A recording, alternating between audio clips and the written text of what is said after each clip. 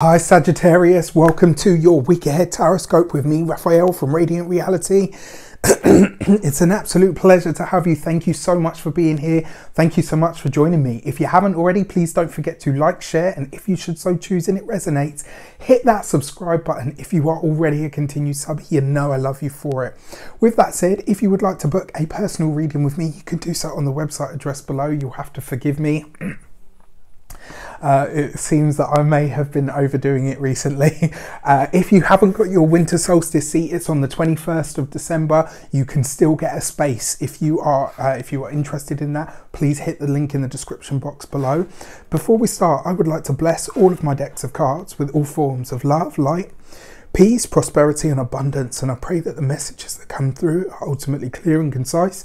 They help you on your path to your highest vibrational good. So, when I went into my intuition this week, uh, it's funny for you and Virgo, I had to look up the symbol because I was like, okay, I, I, don't know what that is. So I had to Google it, um, uh, maybe look in books that I have. I couldn't find anything in any of the books that I've got. So yeah, it looks like uh, I had to Google this one. And um, what I got for you guys was the maple leaf um, which was it's a beautiful, right? It turns all the beautiful colours during uh, autumn and winter.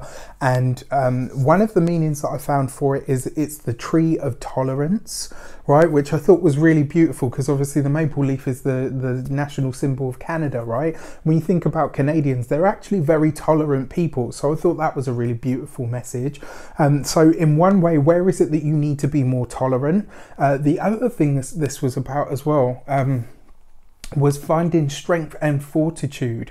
It's about, um, you know, really being able to stand the test of time and where you need to be more lenient with yourself. Where is it that you uh, need to take a more, well, not necessarily take more care of yourself, but offer yourself more nourishment, nourishment that's actually, um, you know, inwardly sustainable, so to speak. Um, let me see what else I found for it. Um,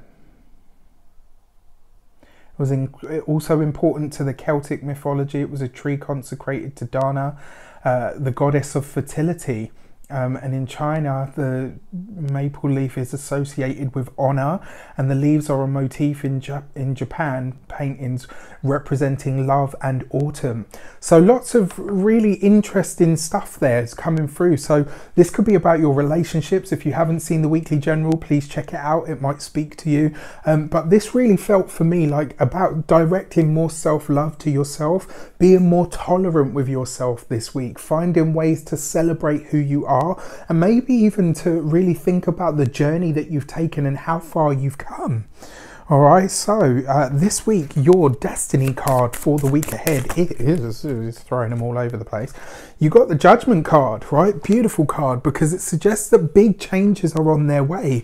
And one of the things that you need to master, it feels like this week, one of the things that you're going to need to master is this tolerance for self, is this um, idea that.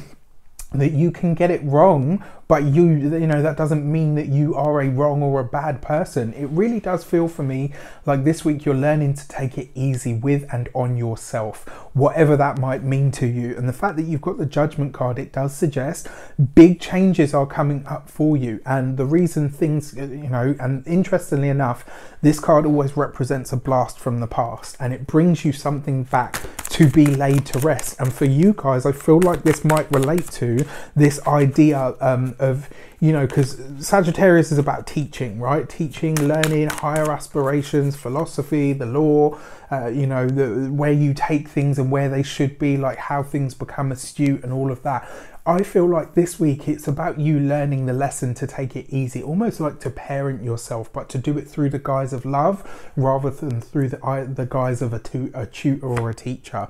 Uh, then you've got the devil card as the direction. Where is it that you berate yourself? Are you addicted to this idea that you must get it right?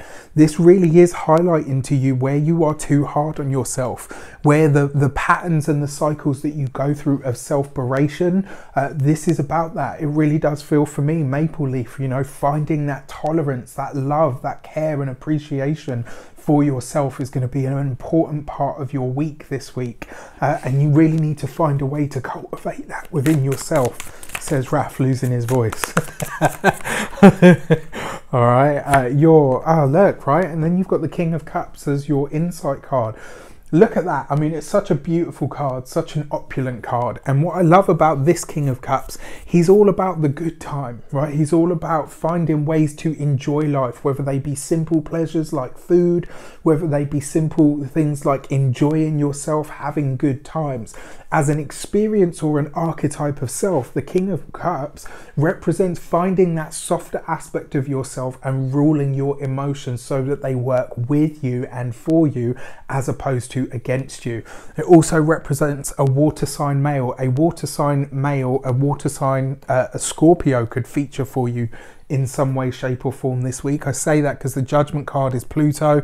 Pluto is the ruler of Scorpio. The King of Cups is a water sign male. Scorpio, Capri- uh, Scorpio, Scorpicorn, a Scorpio, a Cancer or um, a Pisces, right? And because it's got the judgment card there, I'm leaning towards a Scorpio male. So uh, that is your message for the week. I hope it resonates or serves you in some way, shape, or form. I wish you an abundance of all of that good stuff. Have a fantastic week. Let me know in the comments how it shapes up. Take care, and I'll see you soon.